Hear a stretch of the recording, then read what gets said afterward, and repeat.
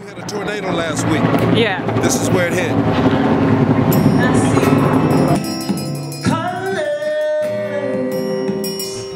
Way out there, it's like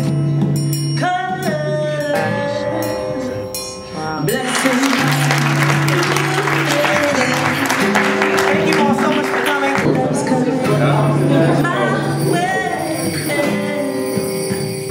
Did you really hear about it? I did actually. I heard about it on um, on the news, On and BBC? they yeah,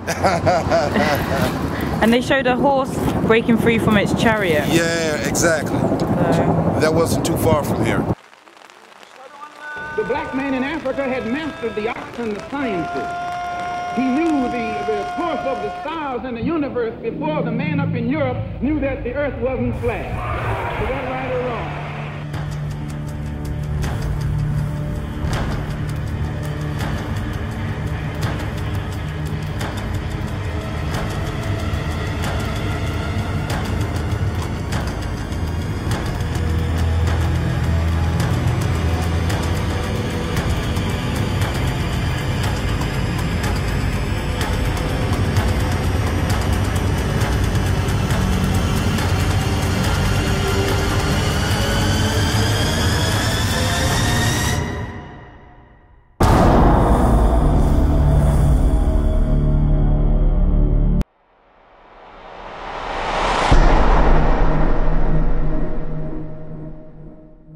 Malcolm X.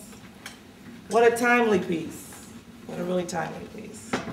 I am a lifetime friend of, of James and his family and lived that experience, so it was really wonderful to be able to see 116th Street. Yeah. I thought the film was amazing, and um, all the research was like amazingly phenomenal. people couldn't stop talking about that film. So, and it moved quite a lot of people. Even the introduction of hip hop artists and their take on things, and people from um, the era of our parents, uh, Malcolm X, um, who witnessed Malcolm X and King, and that whole all that legacy. That was really profound and, and wonderful. coming from London, Malcolm's Echo. I did one audience favorite, by the way. But this is the power of the town that the tornado hit. The Martin Luther King. Um, s- so you've never been there? no, not yet.